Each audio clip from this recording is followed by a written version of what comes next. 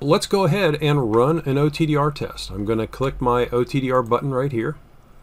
And I've already um, done my settings. I'll just show you that real quick. I've got a limit set. I've got my launch cord information in there. And I'm set to show both wavelengths trace. We'll show a dual trace. I'm set for both 1310 and 1550 using a max length of 500 meters and a pulse width of 20. I'm going to go ahead and hit test. And here we see a test in progress notification. And that little triangle you see at the top is a uh, laser warning designator. That just tells us that there is an active laser uh, at the time that this test is running. So that's a warning to the user not to look at the end of the fiber or if you didn't have anything connected to the unit, don't look into the port while this is running. We get a chime from the tester telling us our test is complete and here we see our trace. So I've got uh, I have a 100 meter launch cord that I've got masked, so I see the first reflected connector right here. Then I see a um, uh, my first my first length of fiber, and then I see a uh, another reflected connector, and then another length of fiber. I see a third reflected connector, and then out here the end of the fiber.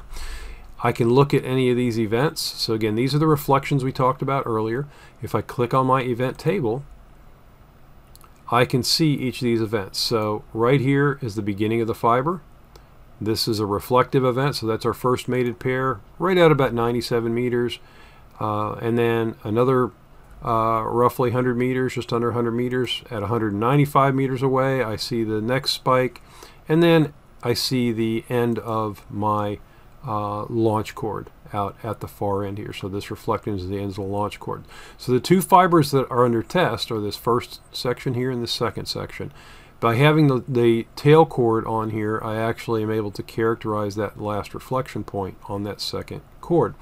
Now some users may prefer, instead of looking at a trace like this and an event table, they may prefer to, uh, to look at it in an event map. And if we click the event map button, we can see here zero meters, this is the beginning of the fiber. We can click on that, get the details about that first reflection. There's our next reflection after we go through that first fiber under test. We see that, and then I click again. We see more details about the event. As we click this each time, it changes, and then it shows us out there at the end. And we can look at this for both 1550 and 1310. So back to the trace, you'll notice there is, appears to be a ghost trace here. So this is a the brighter trace is our main trace at 1310 right now we're looking at. The other one is 1550. If I click on 1550, now the 1550 trace highlights.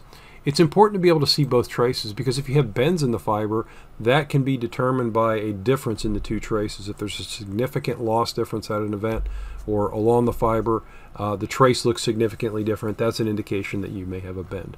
And then we just save this test result just like we would any other test on a TestPro or an NSA. And that is an OTDR trace. The AEM OTDR modular test adapters will work with both the TestPro multifunction cable certification system and the Network Service Assistant multifunction qualification plus test system. Thank you for your time. Please visit our website at www.aem-test.com for more information.